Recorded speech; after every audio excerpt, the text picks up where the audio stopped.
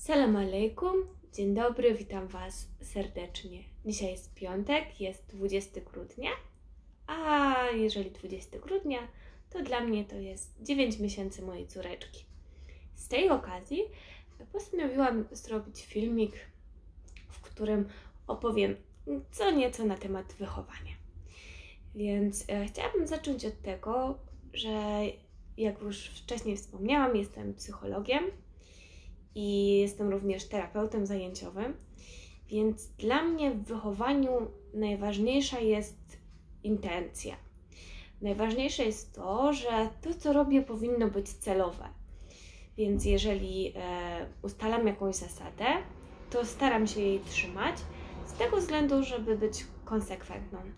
Z drugiej strony, jeżeli ta zasada nie pasuje do konkretnej sytuacji lub w konkretnej sytuacji utrudnia mi życie, jestem dość elastyczna. Przykład.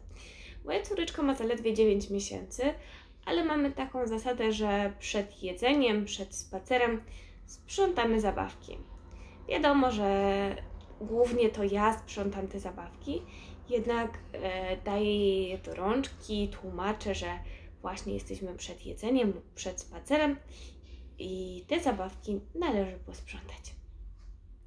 Ale jeżeli jest tak, że naprawdę bardzo się spieszę i, i na przykład e, akurat mąż jest w domu, córeczka ładnie bawi się z mężem, a obiad jest już e, na stole, no to wtedy zdarza mi się pominąć tej, tą zasadę, bo dla mnie jednak ciepły obiad jest ważniejszy od tej zasady.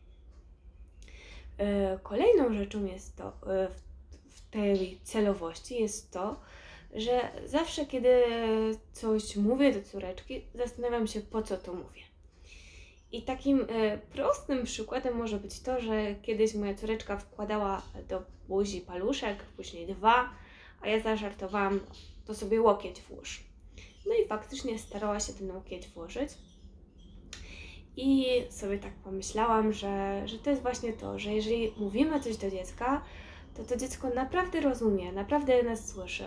Może niekoniecznie zrozumiała, że chodzi mi o to, żeby włożyła ten łokieć do buzi, ale jako rodzice powinniśmy pamiętać już w przypadku tych najmniejszych dzieci, że nasz głos stanie się ich wewnętrznym głosem, że to, jak do nich mówimy i to, co do nich mówimy, zostanie z nimi na lata i może mieć na nich naprawdę ogromny wpływ. Więc starajmy się mówić do swoich dzieci dobre rzeczy. Starajmy się zauważać te pozytywne cechy naszych dzieci. Nie mówmy do dzieci: O, nie rób tego, nie rób tamtego, jesteś zły. Nie. Postarajmy się mówić e, do dzieci językiem miłości. Postarajmy się upominać je wtedy, kiedy to konieczne. Postarajmy się, żebyśmy zwracali się do dzieci z szacunkiem.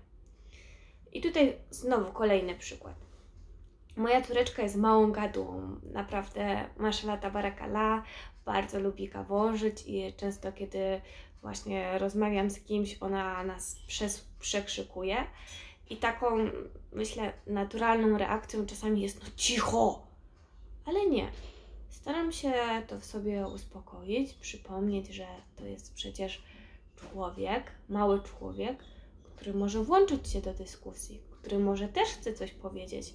Więc staram się nie ignorować jej, kiedy coś mówi i kiedy patrzy na mnie, kiedy ja rozmawiam z kimś innym, zwrócić się w jej kierunku i zapytać, co ona również ma na ten temat do powiedzenia. E, z tym związana jest również właśnie pozytywna dyscyplina. Jestem osobiście bardzo zafascynowana i rodzicielstwem bliskości, i pozytywną dyscypliną, ale myślę, że to są takie tematy na, na oddzielne filmy, bo tym tematom warto się przyjrzeć z bliska i je zgłębić. I jeżeli chodzi właśnie o te zasady, które chciałabym dzisiaj e, poruszyć z Wami, to kolejną zasadą e, po zasadzie intencji, celowości jest to, że yy, chciałabym wychować swoją córkę w miarę swobodnie. Ale co to znaczy swobodnie? Czy to znaczy bezstresowo?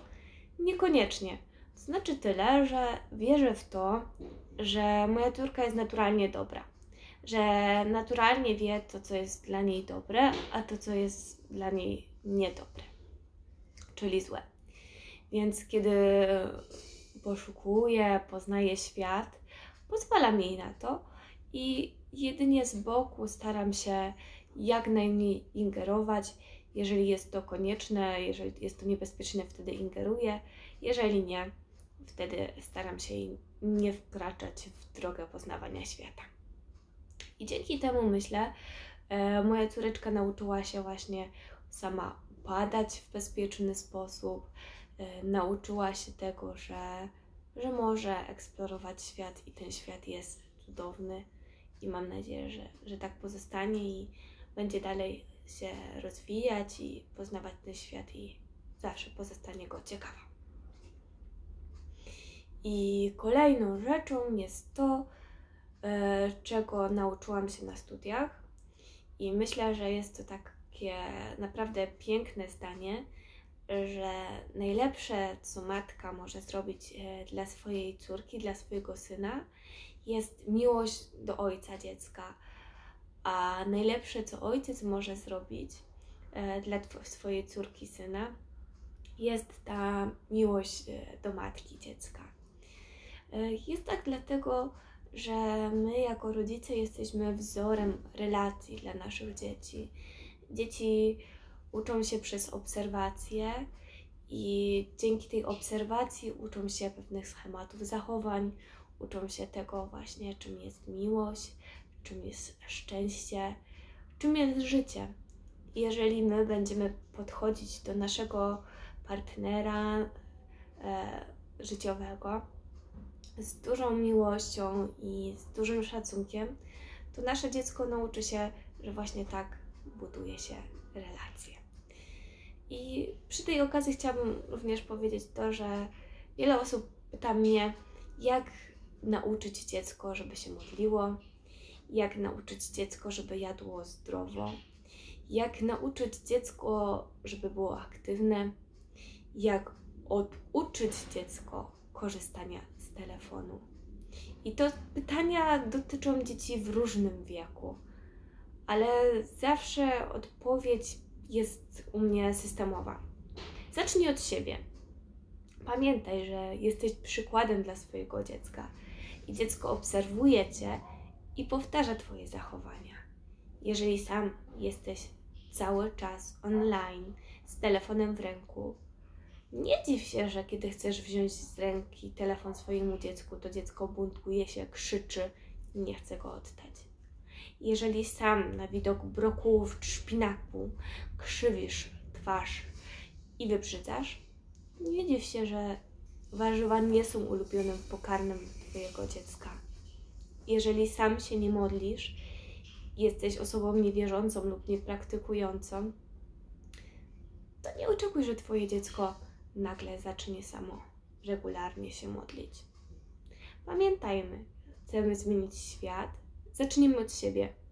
Później nasze rodziny, nasze sąsiedztwo, później nasze miasto, a później może cały świat.